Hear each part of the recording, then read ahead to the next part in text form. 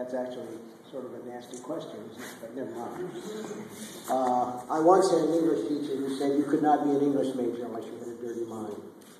Uh, and I qualified in that, that regard. Um, I'm going to talk, I'm going to tell you a little bit about how I got into this business.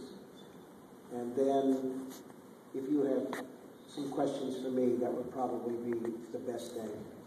Um, we have about a half an hour. That's what they told me. But before I do that, where are you from? Do you go to school? I heard like three different schools. What are they? Georgia Southern, GSU. Uh, I listen to ACDC too much. Somebody, some, somebody speak alone because it all turns into Armstrong. Armstrong. Georgia Southern. I got it. all right. I started to write stories when I was probably. Wait a second. I probably started when I was eight years old.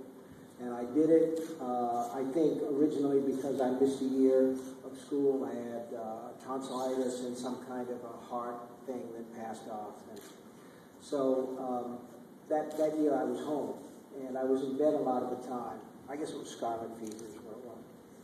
And uh, I started by reading comic books, and then I would make up my own comic stories about Superman and Batman and and uh, then I started to write my own stories. Uh, my mother was very encouraging. She was never, you know, fall down at your feet kind of thing, like, oh, Stevie, you're terrific. But she said that if I, she liked the stories and she liked to pass them on to her sisters. She had four sisters, and she said uh, if I would write stories, she would pay me a quarter apiece for them. And that was my first freelance. that was my first freelance job. So I made a few bucks that way. Uh, she gave me a typewriter for my birthday at some point. Uh, at that point, I was reading a lot. And uh, one of the things that I resist is telling you, you must do this or you must do that. But I can tell you that if you're not reading a lot, uh, you, you're losing some weapons that you would otherwise have in your quiver. So, uh, I read a lot, and uh, another thing that I can remember my mother saying was that uh, she would say, move that um, milk to the bottom shelf. She said, milk takes the flavor of whatever it's next to in the icebox. That's just one of those mom things, you know. Like if you don't wear your rubbers outside, you'll get sick, or this or that, the other thing. Uh, and you know they're bullshit, but they stick in your arms. It's the same. But it's true for writers, I think, when they're when they're beginning. Uh, you take the flavor of whatever you're reading at that time. So that if I read Edgar Allan Poe, I wrote like Edgar Allan Poe. Uh, if I was reading Ray Bradbury, everything turned into a Ray Bradbury kind of thing. Uh, the last that, affliction finally passed for me, I think, when I was in college. Uh, it was a really schizophrenic time for me because I fell under the spell of two very different writers. One was William Faulkner and the other was Raymond Chandler.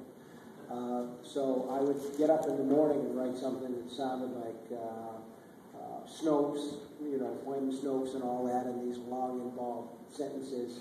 And in the afternoon, everything turned hard boiled on me, you know.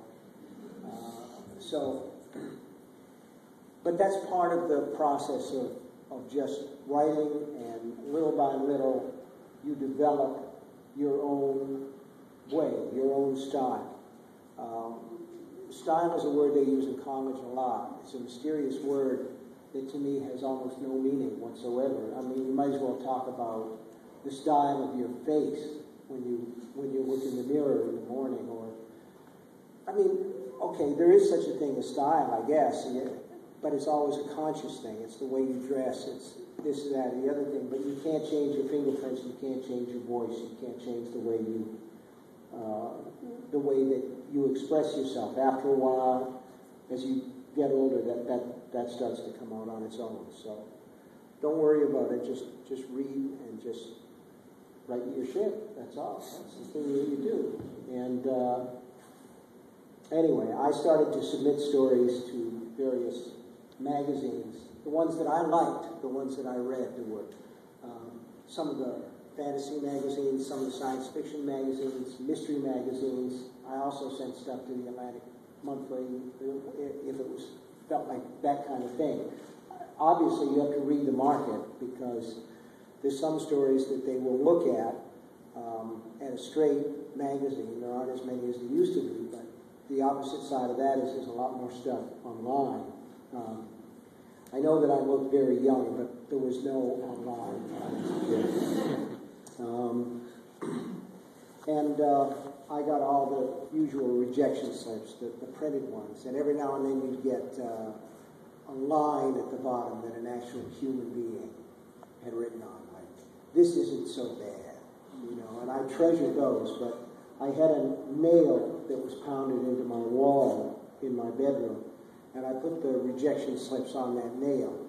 And uh, eventually, the nail tore right out of the wall, and they all went on the floor. So I put them all in a desk drawer and put the nail up and started a fresh batch. Um, the first story I sold, I think I was 19 or 20 years old, and I sold it to a magazine called Startling Mystery Stories. Uh, the check was for $35. I was insane with joy. This was after like uh, maybe 600 rejections, maybe not that many, maybe it just seemed like that, but I was totally fucking insane with joy. You know, I just screamed the house down. And uh, that was, well, I can't say it was my big break. It was just my first sale. And, and I advanced after that to uh, sales of as much as $35 for a while. Uh, and then in my senior year in high school, I'd spent the summer uh, working in a, a, woolen mill. And uh, it was, you know, to get money for college. And uh, they took a week off in the, uh, in the middle of the summer. And they said, if you want to work, we're going to clean the mill from top to bottom. Or if you take the week off, you can take it off without pay. Well, I took it off without pay because I broke my wrist.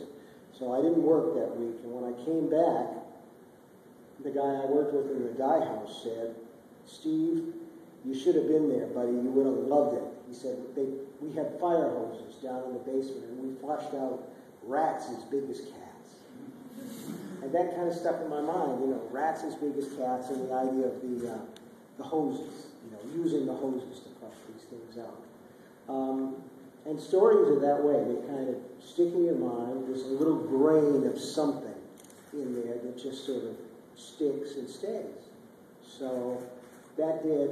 And uh, about four years later, when I was getting ready to graduate college, I worked for the, the newspaper, the college newspaper, and everybody had cleared out uh, for the summer. I was there with two or three other guys. And I started to write this story called Graveyard Shift about people cleaning out a, mill and there were just rats underneath and then there was a sub-basement where there were giant rats, mutated rats. And uh, I just let it all go. I just made it as gross as I possibly could. And I was laughing maniacally, you know, borrowing typewriters. I was having a great time. And I got it done, and uh, I was I was going with a girl um, who's now my wife, been my wife for a long, long time, a lot of years, a lot of good years. And uh, at that time, we were both college students, and I gave it to her to read. Her name's Tabby. And uh, she said, this is really gross, but I think you can sell it. I said, well, I don't know where I can sell it to. And I got a writer's market, which is something you can still get online, and I found that some of the men's magazines still publish fiction. I had had the idea, this again goes back to the idea of read the market, read the market, read the market. I had the idea that if you got those men's magazines, I was talking about upscale, like, like Playboy. I don't think Penthouse even existed at that time, so it came along shortly thereafter. But there were all these magazines with names like Gent, Rogue, Dude, Adam, um, you know, magazines where something pops out when you hold it like that. but they were skeezy magazines, and so I thought what they published was porn. Well, it turned out what they published was what they called men's fiction. But it didn't have anything to do with sex. Who knew? I didn't know. so I sent this magazine, this story, to a magazine called Cavalier, and they bought it for $200. $200. Two hundred dollars. I mean, to me, that was a fortune. I went to Ted and said, "Let's get married." She said, "Well, why, why don't we why don't we wait for a little while on that?" But we didn't wait very long because I advanced to selling stories to men's magazines for as much as five hundred dollars, and uh, so yeah, we got married and we had some kids and. I was working in a laundry because I, I had a teaching degree, but I couldn't find um, a job as an English teacher. So I was working in a laundry, pumped gas for a while. Uh, that was back in the days where we we charged twenty two nine per gallon, and uh, if you got a fill up, you got your choice of a loaf of bread or a glass. These tough cafeteria style glasses, you could throw them against the cinder block wall and they bounce. so I was doing those jobs, and I was writing in my spare time, and uh, the baby was always sick. And there was one of these days where we had come back from seeing my mother, and the car was obviously going to break down, and our daughter had an ear infection. There was no money. We were actually totally, totally flat. I mean, it was a low point. And uh, we got to the little apartment that we were renting where we didn't even have a phone because we couldn't afford to keep one in. And there was one of these envelopes in the mailbox, you know, and uh, and it had the return address of Cavalier Magazine. And I can remember Tabby saying, please God, let that be money. it was. It was $800. It made a big difference. So eventually I got a teaching job. Um, do I want to say this?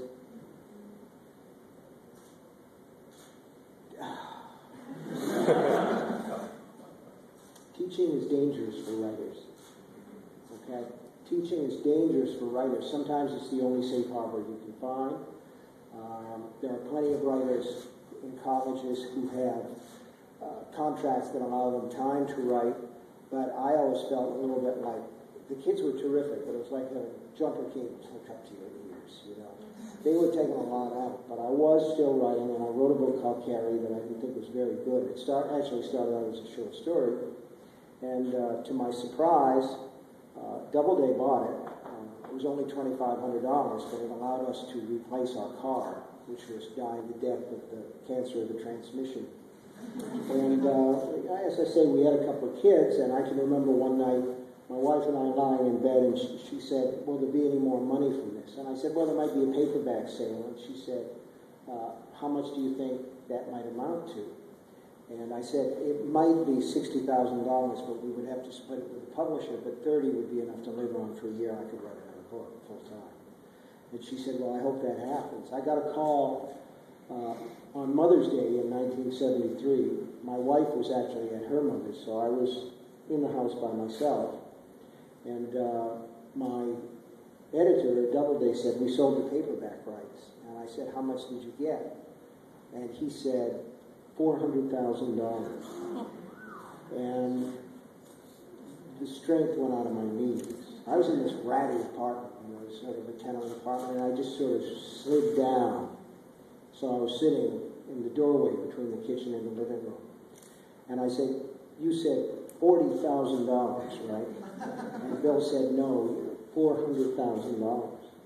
And uh, I just walked around the house. I mean, I didn't know what to do or what to think. My wife wasn't there. I couldn't celebrate. It was Sunday. I wanted to get her a present. I finally decided I had to get my wife a present. So I went out, and it was Sunday, and uh, we were in Bangor, Maine. Everything was closed except for the Rexall drugstore. So I went and bought her a hair dryer.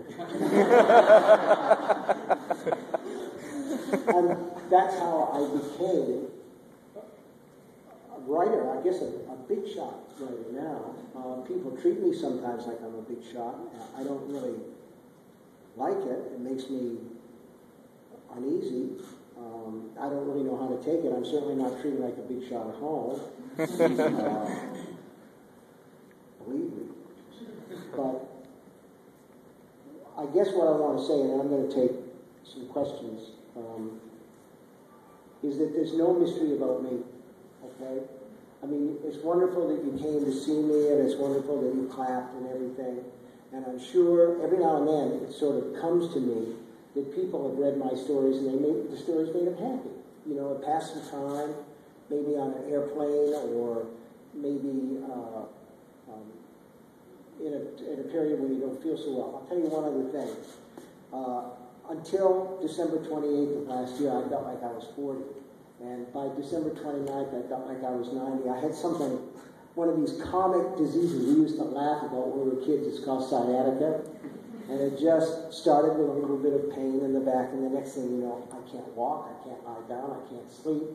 Uh, I'm going to the doctor and saying, drugs, hard drugs. they, give you a few, but they don't waste that shit on people that are actually in. I'm supposed to be a party!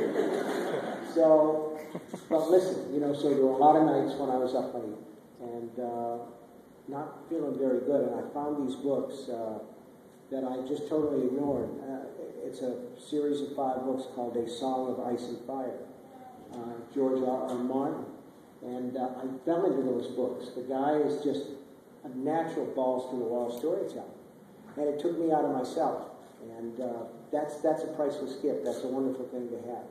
But there's no mystery about me. There is some mystery about what it is that I do and what you do. And that is the the, the actual act of writing, which has always made me feel really happy and really privileged to do it. And it's mysterious. Uh, when it comes, it comes. And it's just, it lifts you up and it's, it's a great thing. This is something that I think a lot of times that they don't talk about, which is the mystery of the actual, that's the art part of it. The craft of it is just putting your ass in a chair and saying, I'm going to do this and I'm going to try to get people to read what I do and so on and so forth. But it's a it's a great job. But just remember, it's just it's just us guys basically doing something um, that's maybe a little bit easier on the muscles in the body the opponent. But it's it's a good thing. Do you have questions? Do you have something you want to ask? Yeah. I just want to say that I really, really enjoy Overdrive. Maximum Overdrive. One of the few. That kid enjoyed that. really uh, yourself when you're finished, but I want to say that you did a really great job, and I was wondering if you were ever planning on trying directing again, because I would personally be really interested in that. I wouldn't mind. I wouldn't mind directing another movie now that I know what the hell I'm doing. But it was a case of. That's the other thing about getting some renown and, and this sort of thing. You find out that, you know how that, that old saying about give him enough rope, he'll hang himself? Well, when you've got some renown, you can get enough rope and hang yourself in Times Square. You know, on Vista Vision, a case in point, Whitney Houston. Okay, that's a terrible story, but it's it's a common one. The only reason that it's wall to wall is because, uh, well, you know what I'm saying. But I would, yes, I would like to direct another movie at some point. It would be nice to do on, you know, as I say now that I know what I'm doing. But movies have never been my main focus. I love them, but I'm basically into the word. Somebody, yeah. more of a technical question. I, um, I loved both it and The Stand. But why in the ending of it, there's a lot of like works cited of like the songs you use, and but why is there one like that in it, but maybe not necessarily like in the stand? In the stand. Um, you mean a, a, lot of song lyrics and that sort of thing? Right. Yeah. The, the, the book of my, I, lo- I love, I love music. I love rock and roll, um, and always have. And for me, it, those things, those song snippets have a, an emotional gradient. Uh, so that there's a little hot zone there. And uh, I did use a lot of lyrics. The one, the book that I used the most lyrics in was actually Christine, um, where I, I thought to myself, I'm going to divide this book up into three sections uh, teenage car songs, teenage love songs, and teenage death songs. And I'm going to have a little, a little snippet of the song at the beginning of each chapter. Uh, and uh, I did that, and at that time I did it because I could. Uh, song lyrics were, were cheap to buy at that time. You could you could get something for fifty dollars, and uh, it's changed. The whole thing has changed. Uh, I wrote a book called Duma Key a couple of years ago, and I really wanted to use the lyrics of the Judas Priest song called "You Got Another Thing Coming." Uh, it was like uh, one verse. Uh, uh, somewhere out there, there's a fortune waiting to be had if you think I've given up your land. You got another thing coming. So it's like four lines. They wanted fifty thousand dollars, and it wasn't them. It was whoever owns the rights to that song. And uh, I thought to myself, well, that's just bullshit. Four lines, and they just rhyme A B A B. Nothing too fancy about that. Fifty thousand dollars. I'm not going to pay that. It wasn't even the money. It was the principle of the thing. So I wrote my own lyrics, and actually actually attributed that song to Bill Denbrough and Richie Tozier, who were two of the kids from It. And it was the same idea. And the only problem with it is it doesn't have the same gradient. And I've been in that situation before. Uh, there's a book uh, called Hearts in Atlantis, um, where the lyrics of Twilight Time, an old doo-wop song, are very important. And I had to hold on to them. They were expensive, but damn, the new book has one lyric in it, and it's uh, the book is 11/22/63. It's got some lyrics from a Rolling Stone song called Honky Tonk Women. I knew what I wanted to do with the lyrics, okay? They just basically had to be any rock song that we would recognize as being an anachronism at that time that were raunchy, okay? and I picked Honky Tonk Women because they were raunchy, but mostly because, god damn it, the Stones always used to be cheap. Dylan still is cheap. Springsteen is still cheap. But see, they control the rights to their own music. Uh, apparently, the Stones sold theirs off, so what used to cost $200 all once is 40 grand. And you go to yourself, it's just not right. It's not like, you know, Finnegans Wake. so I don't use them as much as I did, but I always felt like uh, that idea of opening a book with an epigram that sort of set the tone and set the mood for the, for the story was a terrific thing. And a lot of times in, in older books, uh, those tone setters and mood setters were, poems. And I just think that for my generation, your generation, uh, rock and roll music is the poetry of. Uh, it's, it's what people relate to emotionally. And a lot of times that's what I'm interested in with an epigram. The only real problem with rock lyrics is a lot of times they look quite stupid on the page. So you have, to, you have to be careful what you use. There are a few people who look like poetry, but yeah, in the back. What was the thought process on writing the new book, the JFK book, and how did you get to this book? Uh, I'm not going to talk about that now because I have to talk about it later. I would chew my cabbage twice. It was a long thought process. Yeah.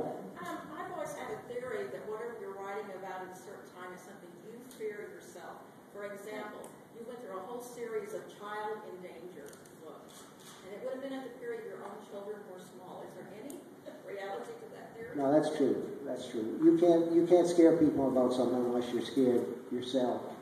Um, when those kids in the story It finally get down uh, to uh, below the city and they see uh, it in its next to final shape, it's a giant spider.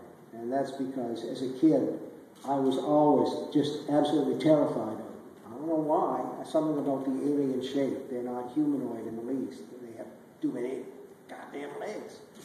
uh, but to me, they're just grotesque. I feel that way about, about bats and about rats, but I've never, I don't think that I, maybe I have. I've written something gross about almost everything sometimes seems.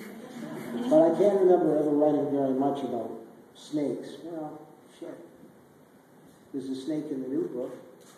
But I'm not really afraid of snakes. I sort of like them. But there was a period when my children were small when I visualized every awful thing that could possibly happen to them. But I was also able to write about children then in a way I'm not now because I had little lab test cases, you know, right there on my feet all the time. And that was a great thing. But raising children is like feeling great pain when that time passes, you, you, you lose some of the immediacy of, of the feeling of the memory, so that you have to move on to, to other things. But, you know, you touch on a really good point, and that is the best stuff comes from what you know. But that doesn't necessarily mean write about what you know, because that would uh, allow you it would just put off limits a lot of things uh, that people would like to write about. Like, uh, obviously, none of us were at the Alamo, but that doesn't mean you can't write a book about it at some point. Yeah, sir. I think I was about 10 years old and I got caught reading Gerald's Game in my grandmother's closet. um, is there a person, uh, or who's your first person to evaluate the readability or merit of your work before you send it out? My wife. Your My wife? But you were a sick pup to be reading that one. Yeah. yeah, you were a sick puppy. But I like that in person. I do. yes, sir. Uh, a lot of young writers have a problem convincing themselves that their own stories are worth reading, so they have to convince themselves that it's worth writing about. Obviously, you're known for being a prolific writer. What's uh, some of the ways you come up with story ideas or just, you know, invest in those ideas? I think that coming up with story ideas is like it's like sex in a way. The, the, the less you worry about it, the better it, it all seems to out. Um, I try not to. I try not to say to myself, "I've got to get an idea. I've got to get an idea. I don't have anything to write about." I I've had uh, a few periods in my life. I had one recently, and I think it went along with the the back pain and everything, where. Uh, I felt flat, where I didn't seem to have anything to write about, or the ideas that I did have didn't seem to pan out very well. But for me, the best ideas are the ones that come